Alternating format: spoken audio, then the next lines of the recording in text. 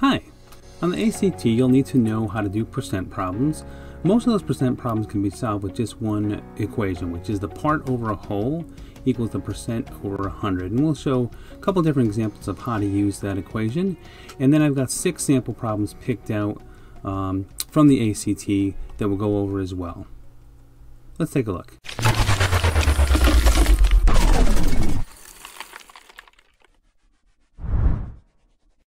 Okay, so let's take a look at percents and percent problems.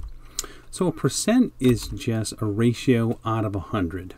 So if we're talking something like 13%, that's the same as 13 out of 100.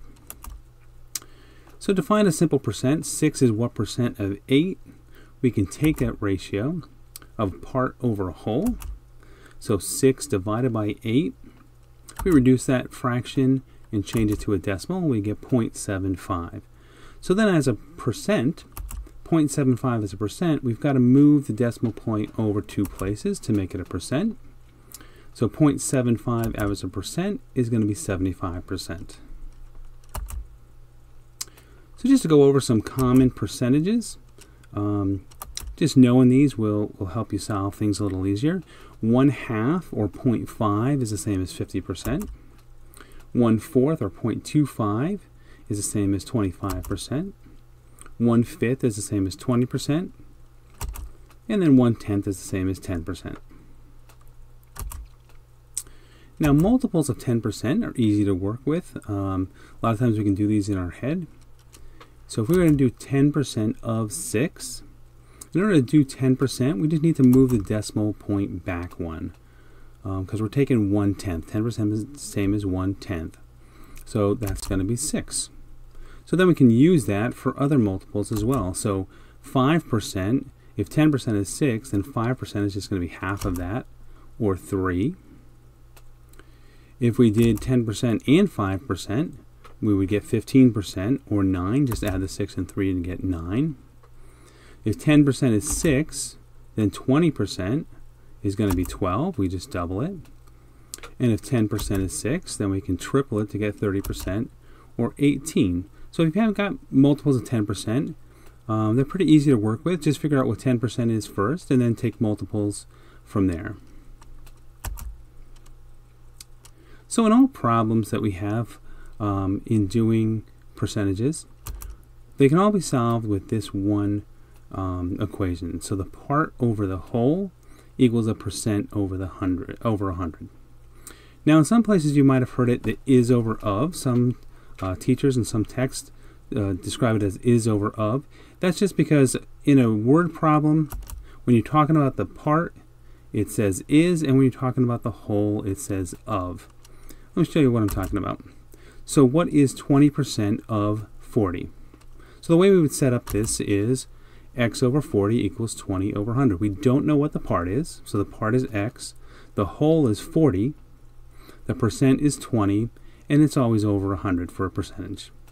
So the is over the of, it says what is, so we don't know the is part.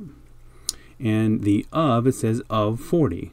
So that just gives you a, a little trick as far as what goes in the part and what goes in the whole. So whichever one helps to um, helps you to get this right is fine. So now to solve for x, we've got to cross multiply here. So we're going to multiply the x times the 100 and the 40 times the 20 and set them equal to each other. So we get 100x equals 800. To solve for that, we just divide by 100 and get x equals 8. All right, another version of the problem. 6 is 25% of what number? So we would set up 6, we know what the part is. Here we don't know what the whole is, so the variable here is going to be in the denominator for the whole because we don't know of what number. And we do know the percentage is 25. And again, we cross multiply 25x equals 600, divide by 25, and we get x equals 24. And in the last problem, 10 is what percent of 50. So here we know the part and the whole. The part is 10, the whole is 50. What we don't know is the percent. So here we put the variable in for the percent. So x over 100. We cross multiply. And here we get 50x equals 1,000 divide by 50 and you get the percent equals 20%. Okay, let's take a look at these six sample problems involving percents. On the first problem, we've got a $40 room rate, and we want to increase it by 22%. So we could um, multiply the 40 times 0.22 for 22% uh, to get us what the amount is that we're going to increase. So if we multiply that out, we're going to get $8.80 is the dollar amount that we need to increase. So that's going to bring us on top of the 40 or 48.80. So that's going to be J for our answer. We could also have done done it this way, $40 times 1.22. Whenever we're looking to do a percent increase and get to the new number, we could put the 1 in, which includes the 40, and then the 0.22, which is the increase. So this would get us directly to 48.80. Either way, it gets us J for our answer. All right, in the next problem, if 40% of a given number is 8, then what is 15% of the problem? So let's do this in two parts. Let's first of all figure out this part here, what the given number is. So 40% of a given number is 8, so we can use the part over the whole equals percent over 100. So we're going to use our basic equation. So we've got 40%, and the part that is is going to be 8, and the of, or the whole, is what we're trying to find. So then we get 40x equals 800. Divide 800 by 40, and we get x equals 20. So that's our given number.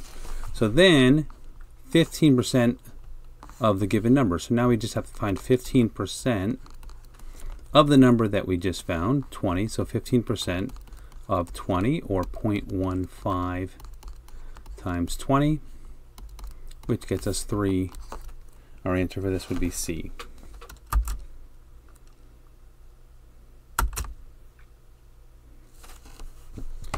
All right, so we have number of voters here, and we just need to know that there's 200 voters, right? So what percent of voters polled chose Whitney? So 30 chose Whitney, 30 out of 200. So we could divide that and get 0.15, which is 15%. We could also look at it too and say 30 out of 200 would be the same as 15 out of 100. So we also get 15% that way as well. So the answer here is going to be 15% or answer A. Okay, 8% of 60 is one fifth of what number? Again, a two-part thing. So let's first figure out the first part what is 8% of 60?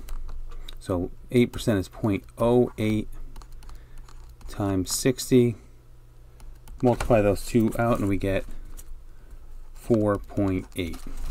So then this just becomes 4.8.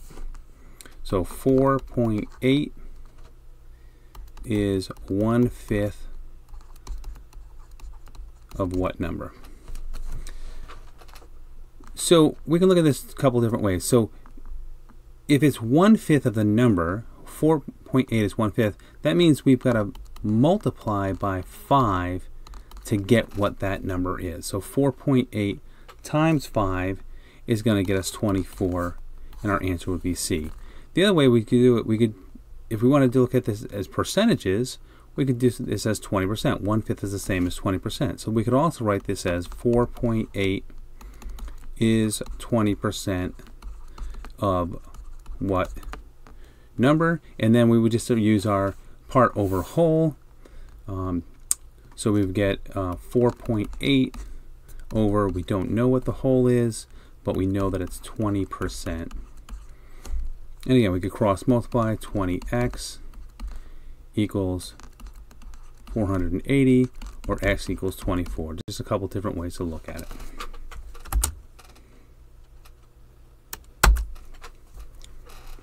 Okay, we have a pie chart here, but it's in dollars, not percentages. And we want to find out um, which, for the greatest expense, well, first of all, the greatest expense is this one, clothes. And we have a total of 900. And we just want to convert that to a percent. So we want 254 is the amount spent on clothes, and 900 is the total expense of everything. So we just have to convert that to a fraction, divide that out, and we get 0.282 or 28.2%. So the closest one is going to be B, 28%.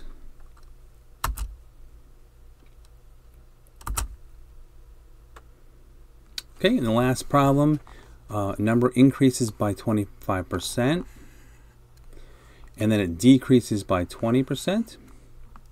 Uh, we have to do this in two steps. And when we don't have a number, um, we could pick a number. The best number to pick when we're picking numbers for percentages is 100. So let's start with 100. It's going to increase by 25%. So times 0.25 equals 25. So 100 plus 25, going to get us to 125. We could have also done 100 times 1.25 and got there in one step as well. So increasing it is going to get us to 125. Then we're going to take the 125 and decrease it by 20%. So 20% of 125 gets us 25.